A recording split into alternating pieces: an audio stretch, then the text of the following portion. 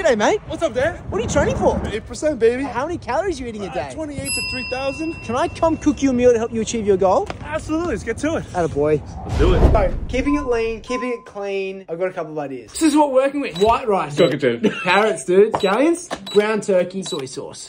Time to cook. There you go. Okay. Carrots, great for the skin. And you're single? Yes, I At a wedding? Yes. 8% baby, Yeah, let's go. It's steamy in here.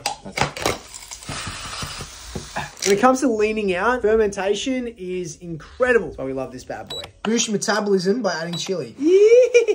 oh, yeah. So to keep it lean, mate, we did a tasty Korean turkey bowl. This many calories, this much fat, protein, and carbs. You. Oh my god. It's like, it's clean. It's not oversaturated with like sauces and extra calories. That's stellar. I feel I'm at 8.5 already.